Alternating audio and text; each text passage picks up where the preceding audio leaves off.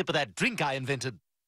Hi, Stewie Griffin here with my latest creation, Monster Energy Drink. What is it? I don't know, but it's free from this truck that stopped outside your work. Mix it with booze. Ever been wide awake, blacked out? Ever tried to jump over a train on a bike? Ever bit the beak off a bird? Monster Energy. Put it in your body and ask questions later. It's green, so it's nature.